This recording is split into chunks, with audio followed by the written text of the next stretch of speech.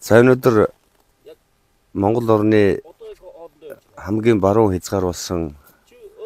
Увсан аймгийн баруун туруу суманд бид ажиллаж байна.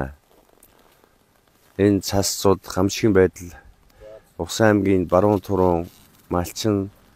Зүүн гэдэг энэ сумууд маш хүндрэлтэй байдалтай бий болсон. Энэ нөхцөл байдал та уялдуулж Увсан аймгийн онцгой хөмсийн дарга улсын хурлын гишүүн цогт хэрлийн хамт газар дэрний бид ажиллаж нөхцөл байдалтай танилцж улсын онцгой хүмүүс аймгийн онцгой хүмүүсээс шаардлагатай арга хэмжээг авах талаар санал бодлоо солилцож сум орон нутгийн шуурхай шатаавуудыг ажиллаж ажилуулж тэдний санал бодлыг үндэслэн шийдвэрийг гаргуулахаар холбогдох байгууллагад уламжлах түүнчлэн энэ баруун бүс нутагт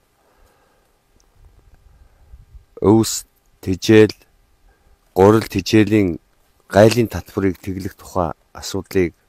оны сүүлээр Монгол Улсын засгийн газарт улсын хурлын гишүүний хөв тавьж исэн энэ асуудал одоо хүртэл шийдэгдэхгүй байгаа. Түүнчлэн Монгол Улсын засгийн газраас малчтын махыг одоо худалдаж авах зориул 100 тэрбум төгрөгийн санхүүж шийдвэрлсэн гэдэг асуудал улсын хурал дээр хүнс хөдөө аж ахуйн сайд албан ёсоор ярьж исэн. Гэтэл өнөөдөр энэ асуудал шийдэгдэхгүй байгаа нь бас ам ажлын зөрөө хэр байгаа гэдгийг бид одоо анхааралтай ажиглаж харж байна. Энэ одоо хүнд цаг нөхцөлд энэ гурил тижээлийн гайлын татварыг яаралтай шийдэж